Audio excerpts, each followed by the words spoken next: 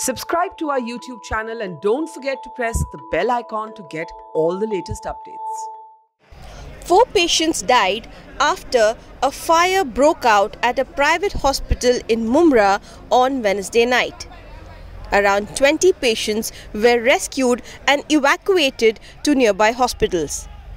Locals allege that the hospital located on the ground floor and extended to the first floor of the residential building was without a fire audit.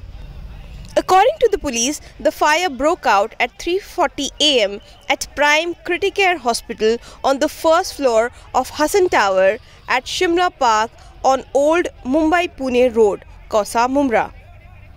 The fire brigade, Regional Disaster Management Cell, Mumra Police, along with locals, carried out the rescue operation. As you can see the visuals, it was the local residents who rushed to the rescue even before the fire brigade arrived. Joshi साहब क्या कहेंगे prime hospital की इस दुर्घटना पर कितने लोगों की मृत्यु हुई है अधिकृत कितना आंकड़ा है आग लगने का कारण क्या है अब तक फायर ब्रिगेड से प्राथमिक जाँच में आपको क्या पता चला आज सुबह साढ़े तीन के दरमियान प्राइम हॉस्पिटल में आग लगी। जो प्राथमिक अंदाज है, वो ऐसा है कि भाई जो अंदर की तरफ़, ये प्राइम हॉस्पिटल, ये जो सी एंड डी विंग में जो बिल्डिंग है यहाँ चार विंग है तो जो सी एंड डी विंग में ये आग लगी।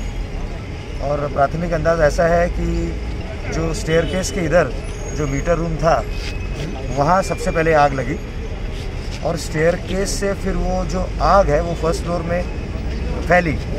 एक बता दूँ, ये जो हॉस्पिटल है, ये ग्राउंड फ्लोर पे भी है और फ़र्स्ट फ्लोर पे भी है। और जो धुआँ था, वो पूरा फैला ग्राउंड फ्लोर में। अब ग्राउंड फ्लोर में आईसीयू था और उनका एडमिनिस्ट्रेटिव सेक्शन था। आईसीयू में छः पेशेंट थे। अब आग ग्राउंड फ्लोर में आग का तो इतना मसला नहीं था, लेकिन धुआँ बहुत ज़्यादा हो गया था। ऑब्वियसली सबसे पहले, जैसे हर समय होता आ रहा है मुमरा के जितने भी यंगस्टर्स हैं, सबसे पहले वही पहुँचे। And I am really proud of them तो वो पहुँचे। हमारी फायर ब्रिगेड भी तुरंत वहाँ पहुँच गई थी। और उन्होंने क्या किया कि ग्राउंड फ्लोर में जो पिछली बाजू की तरफ़ की जो ग्रिल है, वो ग्रिल निकाल दी। और उस ग्रिल के से उन्होंने पेशेंट हटाना शुरू कर दिया, निकालना शुरू कर दिया। कुछ पेशेंट सामने से भी निकाले, लेकिन मेजोरिटी पेशेंट जो थे ग्राउंड फ्लोर के, वो उन्होंने ग्रिल के माध्यम से ग्रिल खोल के, निकाल के उखाड़ के पेशेंट्स को बाहर निकाला। अब ऑब्वियसली जब पेशेंट बाहर निकले तो सबसे नज़दीक का जो हमारा हॉस्पिटल है, वो बिलाल हॉस्पिटल है। तो बिलाल हॉस्पिटल पेशेंट शिफ्ट किए गए।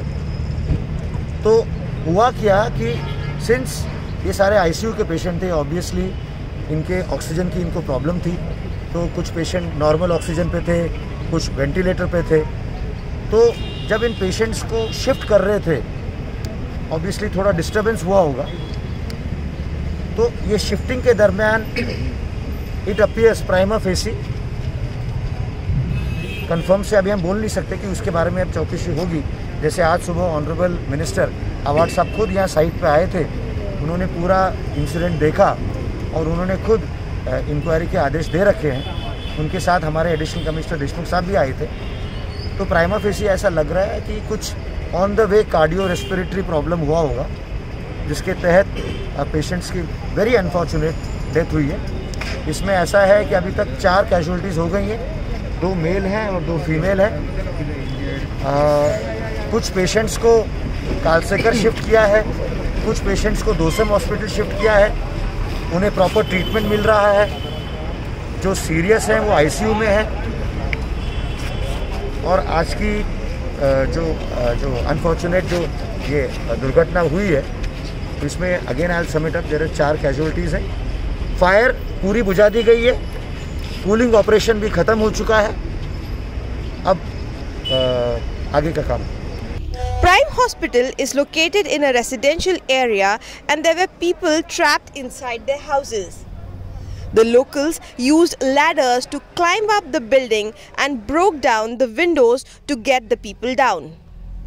There were 12 people on ventilator in the hospital who were moved to the nearby Bilal Hospital but during the transition four of them died due to low oxygen levels and other complications. एक अंदर सत्रह patient होते हैं त्याच्यातले तीन जण मृत्युमुखी पडल्याचे प्राथमिक अंदाज आहे बाकीचं कशामुळे आग लागली का आग लागली ही चौकशी समिती नेमून त्याची चौकशी केली जाईल. मृतांना प्रत्येकी पाच लाख रुपये देण्याचा आदेश माननीय मुख्यमंत्र्यांनी दिलेला आहे. त्याप्रमाणे पाच लाख रुपये दिले जातील. जखमींनाही एक एक लाख रुपये दिले जातील. पण प्रामुख्याने ही घटना का कशी घडली का घडली त्याच्या मागची कारणं काय आहेत हे म्युन्सिपाल्टीचे अधिकारी पोलीस अधिकारी आणि डॉक्टर यांची संयुक्त समिती मिळून चौकशी करून अभिप्राय देतील The incident comes five days after 15 coronavirus patients died in a blaze in the intensive care unit of a private hospital at Virar in the adjoining Palghar district. And not to forget the oxygen leak incident in Nashik, which killed 24 COVID patients. The government has announced a compensation of rupees 5 lakh for the dead, and those injured will get 1 lakh each. A high level inquiry committee has been constituted to go into the cause of the fire. It will comprise officials from the Thane Municipal Corporation and also police and medical personnel. Nazia Sayed for Mojo Story, Thane. It's great to see you here. Thank you for watching our work.